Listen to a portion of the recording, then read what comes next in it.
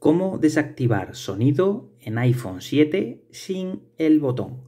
Si quieres desactivar el sonido en tu iPhone sin utilizar el botón lateral, en este vídeo te voy a enseñar cómo lo puedes hacer. Esto es algo muy sencillo y como hago en todos los vídeos del canal lo explico de una manera rápida.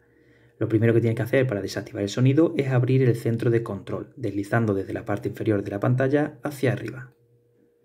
Cuando estés aquí, en la parte derecha, donde aparece un altavoz, vas a desactivarlo deslizando hacia abajo. Luego cerramos esto y vamos a entrar en ajustes.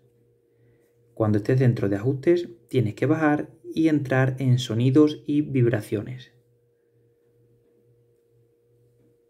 Cuando estés dentro, esta barra de aquí la deslizamos hacia la parte izquierda. Y ya está. Y ya hemos desactivado el sonido en nuestro iPhone. Y así sería. Hasta la próxima.